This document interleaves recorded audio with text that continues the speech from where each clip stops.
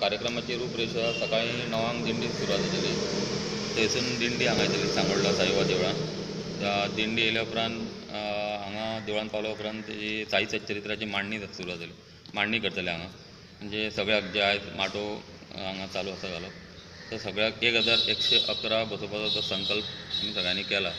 तो आमी पुराय करपाक प्रयत्न करता. त्या सगळ्या साई भक्तांनी हजर जावचे आनी हेजो लाभ घेवचो. मांडणी सुरू जाल्या उपरांत मांडणी लायल्या उपरांत मागीर हांगा साई भक्त वाचपाक बसतले. आनी तेजे उपरांत आरती जातली वाचन जाल्या उपरांत तेजे उपरांत एक जे पुजेक लायता साई सच्चरित्र ते पुजेचे पुजेक लायलेले साई सच्चरित्राची एक लॉटरी काडली वयता. सगळ्यांची नांवां घेता तितूंतसून एक नांव काडटा. आनी ते नांव जे कोणाचें येता पळय ताका तें साई सच्चरित्र आमी आम्ही परमेश्वराचे लेकर म्हणून एकत्र यावी. आणि एकी जर झाली ऐक्य जर निर्माण झालं तर आमच्या राष्ट्राचा निश्चितच चांगला उद्धार होऊ शकेल.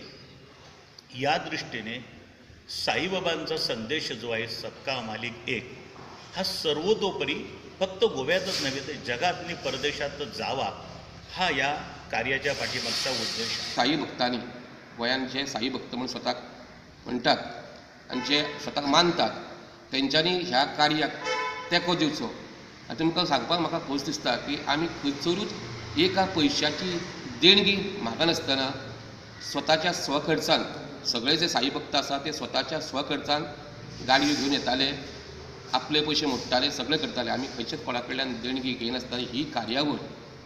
बेस बरी हांगा एक संकल्प केलो की एक हजार एकशे अकरा साई भक्त हांगासर साई चरित्र वाचपाक बसतले. आनी त्या अनुशंगान आमच्या गोंयच्या सगळ्या वाठारांतले साई भक्त कामाक लागले आनी तो संकल्प पुरो करपाचो आमचो ध्येय आसा. परंतु त्या कार्याक धरून आमी जवळ जवळ देड हजार साई चरित्राची आमी सद्या सोय केल्ली आसा.